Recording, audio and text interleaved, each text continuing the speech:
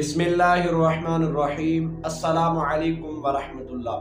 پیارے بھائیوں آج ہم سنیں گے الو کھانا حلال ہے یا حرام۔ پیارے بھائیوں الو کے حلال اور حرام ہونے کے بارے میں اعلیٰ حضرت امام احمد رضا خان رحمۃ اللہ تعالی علیہ۔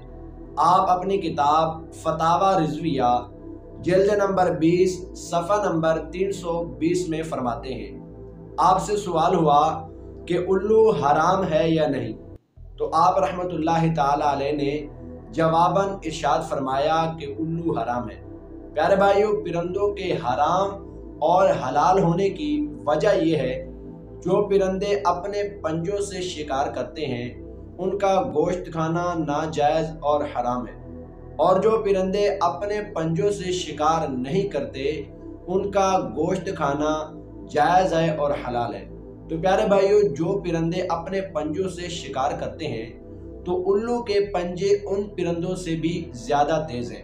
تو اس میں کوئی شک کی بات نہیں ہے کہ الو اپنے سے چھوٹے پرندوں کا شکار نہیں کرتا، بلکہ الو اپنے سے چھوٹے پرندوں کا شکار کرتا ہے۔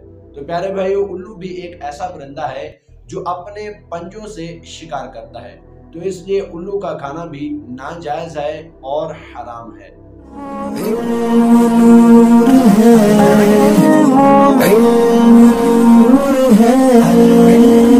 حدیث پاک میں ہے کہ ہر چیز کے لیے ایک راستہ ہوتا ہے اور جنت کا راستہ علم ہے۔